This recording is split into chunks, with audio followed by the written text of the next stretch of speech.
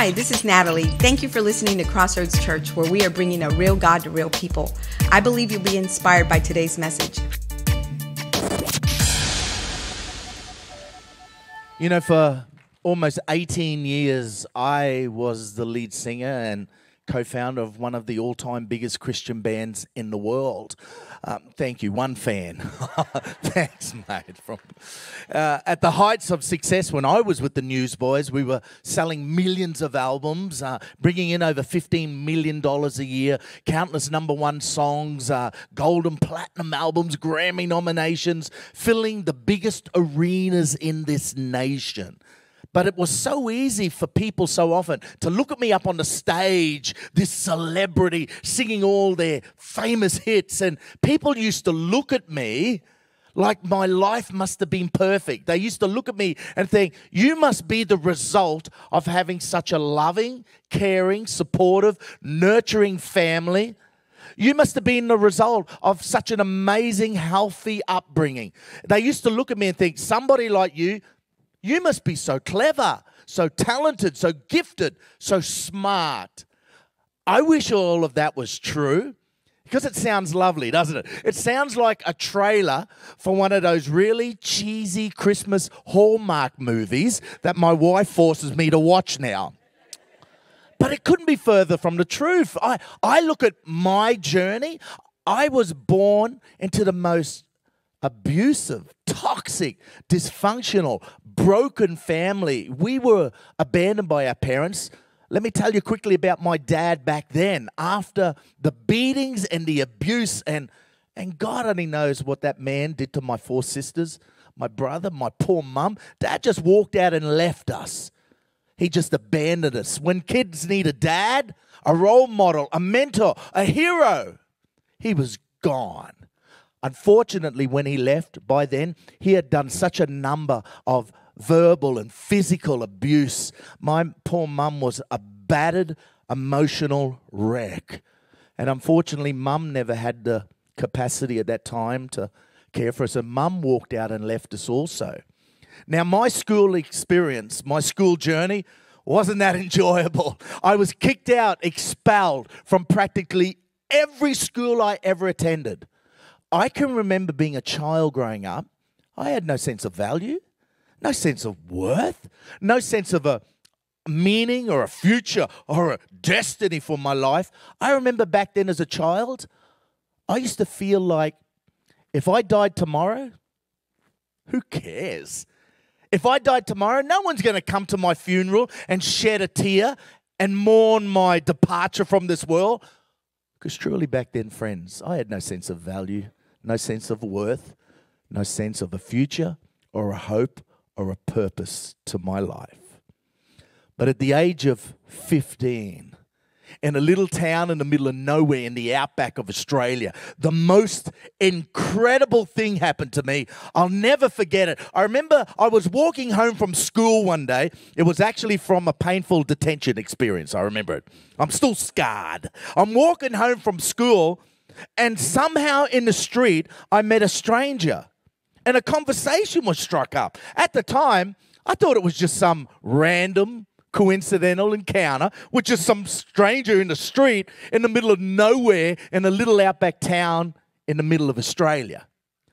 Oh, but friends, little did I know that something far greater was taking place at that moment than anything I could ever imagine. Little did I know that through that coincidental encounter with a stranger in the street. Little did I know that through that young man, the kingdom of God was on a collision course with my life. I just didn't know it yet. Through that young man, he was going to be the vehicle that God would use to change the course of my life forever. And maybe you here today at church, I don't know, you're a regular, Somebody invited you, somebody dragged you along. Maybe they said, Oh, you got to come to church today. We have Steve Irwin's cousin speaking at our church today. I don't know. I, I don't know what brought you here. Maybe there's some of you that don't even want to be here. But can I suggest to all of us today that maybe it's no accident you're here today? Maybe it's no accident Tanya and I are here. Maybe today the kingdom of God is on a collision course with your life, and you might not just realize it yet. Through that young man, he introduced me to the gospel of Jesus Christ. Through his influence, I started following after this man called Jesus. I had no idea what it meant, what I was meant to do, what was up ahead. I just did my best to walk towards the kingdom of God and start this journey of discipleship and discovering Christ. A little while later, I moved away from that small outback town to another small town on the east coast of Australia called Mooloolaba. Anybody heard of that? Oh, I didn't think so. a small town on the east coast of Australia. One day at church, I'm a new Christian, going, going to church, a new believer. One day at church, I meet another young man. And a friendship has struck up. And through the friendship, I discovered that him and a few other mates were talking about starting a band. I thought, a band? That sounds awesome. I quickly learnt they had no lead singer, so obviously I elected myself. I never sung a note in my life except in the shower, but I thought, crikey, how hard can it be? We're not working for NASA here. It's not rocket science. Come on. So we started a band in a garage, annoying the heck out of the neighbors every Saturday. One day, we decided to come to America. We thought, we can go to America and use music as a vehicle to bring people a message of hope found in Jesus Christ. We thought in America, right? Everybody there in America loves music, yes? Well, except country music, eh, Pastor? But everybody loves music, so we came to America with a dream. A bunch of uneducated, barbaric, but passionate Aussie boys that were crazy enough to believe that God actually had a purpose and a plan for our lives, just like He does for every one of you here today. And it has nothing to do with how good you have been or haven't been. It has nothing to do with your education or lack of. It has nothing to do with your age, gender, nationality, skin color. God has an incredible, magnificent purpose, plan, and destiny for every man, woman, and child alive. At the heights of success, I began to cut anchors from my life, stabilizing ropes, influences, boundaries that we all have. Don't look at me like, well, that only applies to you because you're in that crazy music industry. Oh, let me say, you can be a housewife, a gardener, a carpenter, an accountant, a nurse, a doctor, unemployed anchors that we all have to keep us grounded. Oh, especially if you call yourself a follower of, of Christ, a Christian. Let me tell you a couple of the anchors that I cut from my life. I didn't think it was it would matter. Oh, was I wrong? The first anchor I cut from my life was the absolute essential importance of my daily devotion to God. Lord, I'm just so busy this week. And come on, church, let's be honest. Doesn't life have a tendency to get us all so busy? Seriously, there's barely enough hours in the day. What I need to get done with my family commitments, my job, my, my work commitments. It's like there's barely enough time each day. Lord, I'm just so busy now. I know I'm meant to begin to build this into my life, but I'm so busy. Next week, I promise you, God, I'll get back. I'll have twice as many devotions with you next week. Well, next week comes and oh, look out. We're going into the studio to record our brand new worship album, our brand new album that's going to reach millions of people around the world with a message of hope found in Jesus. Eventually, I got to a place where I stopped having my devotions altogether. I mean, in the busyness of my life, just stopping and taking a few moments each day, giving God the first fruits of my day, opening up His Word, just spending time, a few moments reading His Word, praying, allowing His Spirit to speak and strengthen me.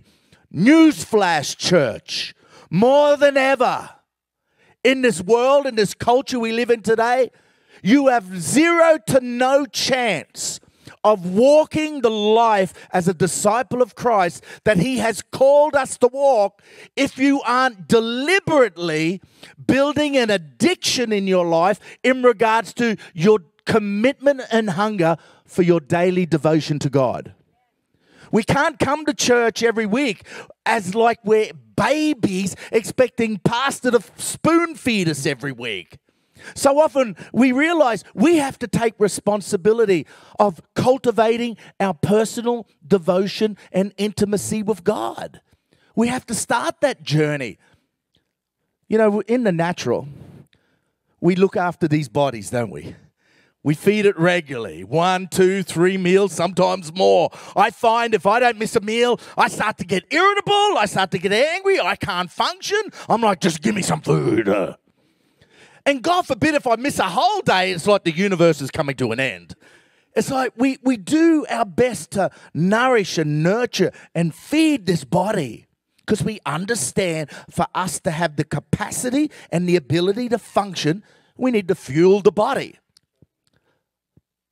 But now we come to the Word of God that is alive and active and powerful. That the Word of God, that is the foundational building block of our intimacy and devotion, getting to know God, not only through our worship, but through the Word of God, that has the ability to renew our minds, to change us on the inside. It's like we eat crumbs and we expect that's going to give me what I need to be a disciple for Christ. It's like, but don't worry, we have the app. I have the app, and each day I get my Jesus sprinkle. my, my one little verse that tells me how incredible I am and how I am the center of the universe according to God. Now, listen, if that's where you're starting, fantastic. Start there. But let me say, as you follow the Lord, I pray that you begin to grow with a hunger just like we do in the natural, you'll begin to grow a hunger to know Him through the Word of God. That we begin to have an appetite. You know, my wife and I, we've made a commitment to each other, especially in the craziness of what's going on in this country today. We've realized and we made a commitment to each other in the Lord that we will not leave our home. I mean, wherever we're staying, hotel, whatever, we will not walk out the door of our home to start a new day unless we have first spent time with the Lord. Spending time in His presence, allowing Him to give us the strength and the courage and the hope, allowing His presence to refresh us daily. Friends, when you begin to cut anchors like that from your life, the importance of my daily devotion, the next anchor I cut from my life was the absolute essential importance of my family. You know, my wife back then, my ex wife now, you know, my family back then needed more than anything? Was not more lifestyle, more holidays, more vacations, more money. We had all of that and more than we could ever spend or enjoy. So, what was my family back then craving, desperately needing? Was dad just to be there for them. That they were a priority in my life and not a PS. See, daddy's off saving the world, saving everyone else's family, everybody else's marriage, everybody else's family. But right under my own roof, I'm losing my own marriage my own family. The final anchor I cut from my life, I didn't think it would matter. Oh, was I wrong? Was the absolute essential importance of staying connected, grounded, plugged in, and serving in a local church. Oh, you don't understand. God has given me this ministry that He's taking me to the world, to the nations and beyond. Actually, the local church doesn't get it. So I have to cut my ties with the local church because God is releasing me in this incredible ministry. Hmm, what a load of rubbish. Sorry if I burst your entrepreneurial ministry model or idea. Listen, Nothing supersedes the incredible miracle and importance about being plugged in and serving and involved in the most incredible organism called local church family. See, when church is done right, Local church isn't here to crush your dreams. You might have dreams in God of what you want to do in the business community out there or in this in this nation. Local church isn't here to crush your dreams and institutionalize you and lock you in. On the contrary, local church is here to equip and empower and release you with the dreams you have. You, you might have a vision as a carpenter, as a builder. Go figure this released in the ministry out there. I reached, I meet so many church folks, and they're like, "Well, brother John, one day I'm gonna be in the ministry." Hmm. I'm like, "What's that?" In the ministry? You want to be in the ministry? Huh, huh, huh. There I ordained you. Go. You're all in the ministry. How about that? When Jesus said, Come follow me, and you said, Yes, Lord, and you started on the journey, guess what? You're in the ministry. You enlisted in the army of God. He has a, you know, people think ministry. Listen, you may be a school teacher. How about that? You're in the ministry. You've been released to be the kingdom of God in the teaching world. You may be a doctor, kingdom of God released. A carpenter, kingdom of God released.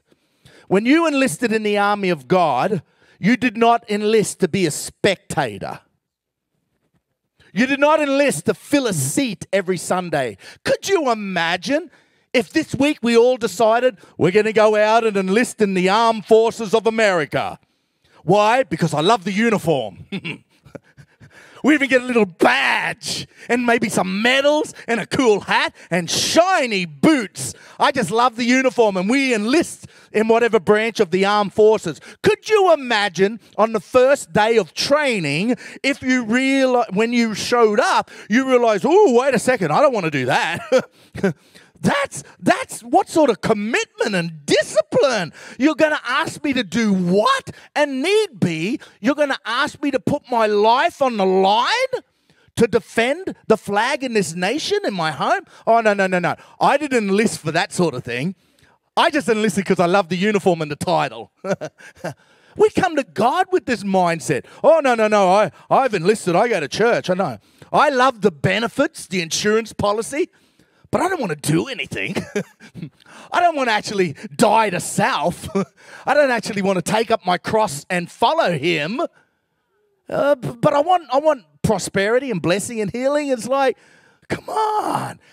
It, with that sort of attitude in the natural, I don't think you'd survive long in the, in the armed forces. Amen. You wouldn't last long. But we come to God so often with this mindset.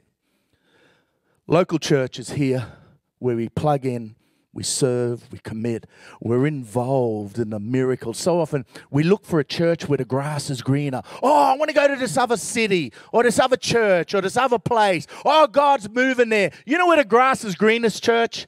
Where God has you planted today. Where God has you planted today. When you cut those anchors from your life, you're a train wreck about to happen. It might not happen today. It might not happen tomorrow. It might not happen for six months. But I guarantee you, somewhere down the road, there is a disaster waiting for you.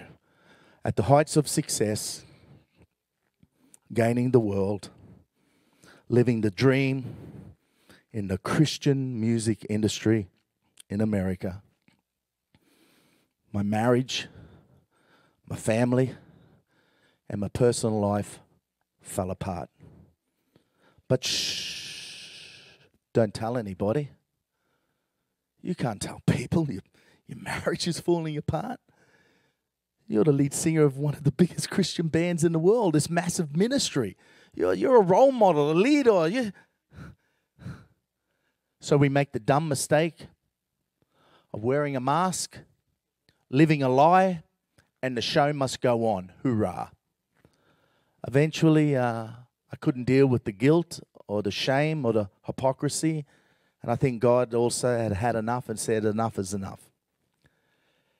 And um, when I opened up to the band and told them the state of my marriage, that my wife was on the brink of leaving me, told them everything. A couple of days later, the band came back and it was unan- unanimously decided that as of that moment, I was forced to step down and resign from the band. My world was shattered. how do you let go of that? For almost 18 years, the Newsboys was my life, was my dream, my aspirations, my sense of validation, my sense of worth, my success. It was everything. And now this is raped from me. But at that shocking moment, I came to the terrible realization exactly that that my sense of worth and value was, was not in God, in my relationship and who He was. It was in my career and my ministry and my work. I'm sad to say what was ever left of my marriage uh, quickly began to dissolve. Uh, unfortunately, um, instead of reaching out for help to a local church, a pastor, anybody just reaching out and saying, Help, I made the dumb mistake of turning to an alcohol bottle. I did my best to drink myself into oblivion. I thought as long as I was drunk, I don't have to deal with the consequences of my choices.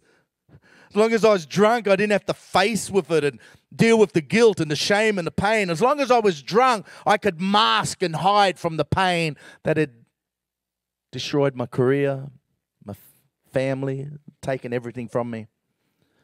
I remember one day coming home to my big house in Nashville. Ooh.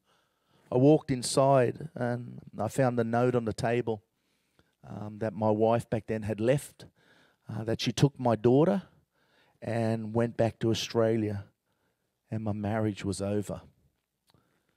Again, you think at that low point, I would have had enough sense to reach out to anybody and just say, Help but I went looking for more. Friends, you seek, you will find, whether good or bad. I went looking for more to numb the pain, and I found a guy in Nashville uh, that was a drug dealer, and he introduced me to many different chemicals. Fast forward, my career's over, my marriage is over, I'm losing everything. I'm an alcoholic. what, I'm a drug addict now? How the heck did I get here? This wasn't part of the plan. I never signed up for this. I signed up for the lifestyle, the success, the money, the happiness, the fame, whatever. This wasn't part of the contract.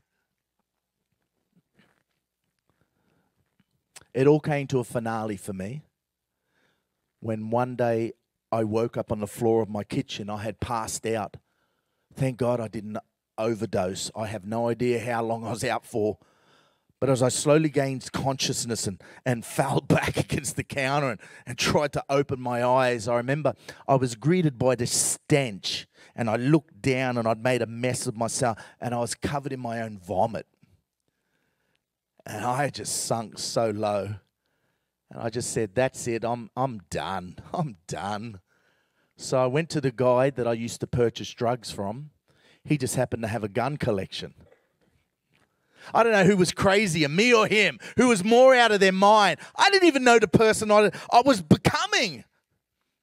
I had the audacity to ask this guy, hey, mate, can I borrow one of your handguns? You got several of them. Look, that's awesome, mate. Uh, can I borrow one of them? I'll bring it back on the weekend, I promise, when I come back to buy more drugs. You can trust me. We're good friends. We're buddies. We hang out. We party together. Who was crazier, me or this idiot because he said, okay? Thanks, good friend. So here I sat on my couch in my big house in Nashville. I'm high, I'm drunk. I'm feeling so lost, so trapped, so angry. Just, I'm a mess and I'm just being overcome, engulfed with a sense of hopelessness. You ever felt like that, folks? Just hopelessness. And I'm hearing this voice screaming in my head, condemnation, saying, You are such a failure. You are such a loser. You failed your wife, you failed your kids, your career, your ministry, your fans. But most of all, you failed God. He believed in you so much, He gave you everything. And this is how you repay Him by making a mess of everything pick up that gun, stick it against your head, and blow your brains out because that's all you're good for nothing. And I remember, folks, with tears running down my face, shaking, with a, with a gun in my hand. I remember realizing this is it. This is strike three, game over. There's no rainbow at the end of the story. There's no coming back from this. And I remember I closed my eyes tight with tears just streaming down my cheeks. Shaking, I just raised that gun and I stuck that barrel hard against my head. And I took in one last slow, deep breath. And I got to tell you, folks, I thought that was would be the last breath I would ever breathe again. And what did I decide to do with my last breath of air I thought I would breathe? I tried to pray one more final prayer to God. Do you even care? Do you even see me? Do you even love me? Are you even interested? Or have you turned your back on me? No idea. And I prayed one final, desperate, hopeless prayer to God. And folks, with a gun against my head, all I could get out was four words. All I could say was, Please, God, help me. Instantly, the phone rings. Instantly, the message, the answering machine kicks on. Oh, church, let me tell you, I had that silly thing set up so it never did that. It would normally ring forever before the message bank kicked on. This day, this moment, it was barely half a ring, and then the message bank kicks on, and there's somebody leaving a voice, a message on the answering machine. Picture this, church. Here I am on my couch, a gun against my head a millisecond away from pulling the trigger, but I'm listening to see who's leaving a message on the answering machine.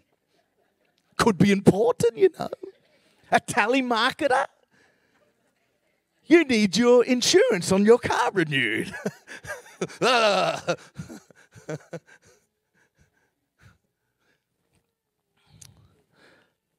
that phone call saved my life. If I could put it into words, what that phone call, the experience of what it was like for me, it was as if God Almighty looked down from heaven and amongst the billions of voices crying out, making noise in this world, this loving Father had the ability to hear my cry. Only today am I starting to understand the Word of God that is alive and active and powerful.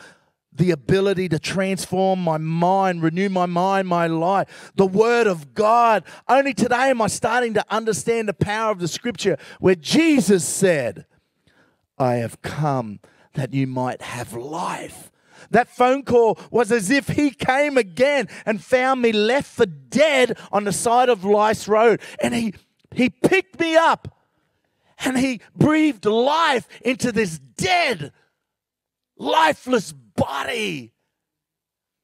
Only today am I starting to understand the power of the Word of God, where Jesus said, I have come to set the captives free.